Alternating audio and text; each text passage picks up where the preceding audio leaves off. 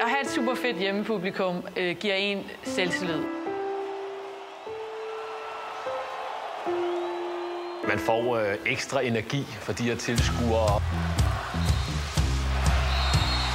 Jeg glæder mig også til at mærke suset i, i boksen. Har du set noget lignende? Vi skal glæde os. Vi skal alle sammen glæde os.